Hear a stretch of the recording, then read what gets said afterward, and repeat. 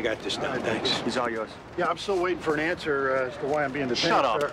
You take something that didn't belong to you, Ken? No, of course not. Uh, what's this about? Ever do time? I don't want to answer any more questions until I know what's going on. Oh, you want to answer the question. When I was a kid, all petty stuff. Oh, yeah? Petty sex offender stuff? Huh? I was wrongly convicted of that. What's this for? Repairs. Come on.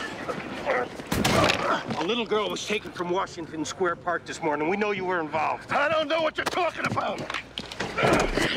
Now, you are gonna tell me what happened to that little girl. I want a lawyer. You can't do this. No, this is just us, Ken. There ain't gonna be no lawyer, no court, no wrongful conviction. Because you're gonna take care of this right here. Some guy took her. Oh. I gave her a ride.